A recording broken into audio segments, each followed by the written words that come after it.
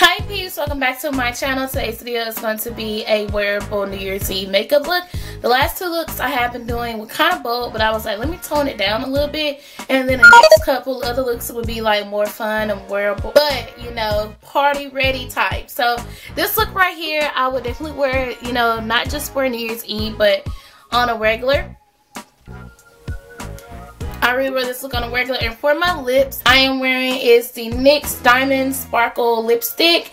And the shade, called, shade called, there it goes, Sparkling Salmon.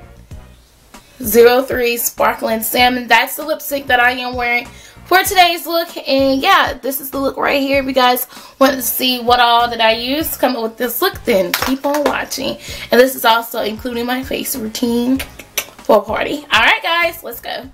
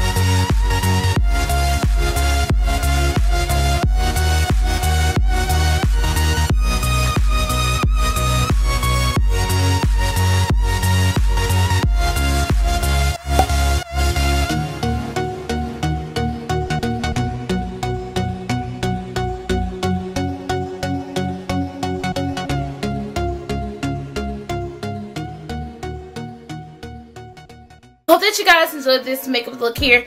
This is more for the wearable girls out there. Like, don't want to go all out but would still wear a pop of color and then you know still look fly that would be me or if you guys you know want to try something different for New Year's but anyways I hope that you guys enjoyed this video give this video a massive thumbs up and let me know what other looks you, want, you guys want to see here on this channel and I gotta go and I will see you soon hi loves welcome back to my channel today's video is going to be a New Year's Eve lip makeup tutorial this is going to be something if you guys are wanting to do like a vampy lip or just want to see what kind of odd combo that you want to like come up with as far as you know for the New Year's. So everybody know the typical red and the typical nude, but here is a nice vampy lip makeup look. I'm a vampy girl, so you guys don't know by now.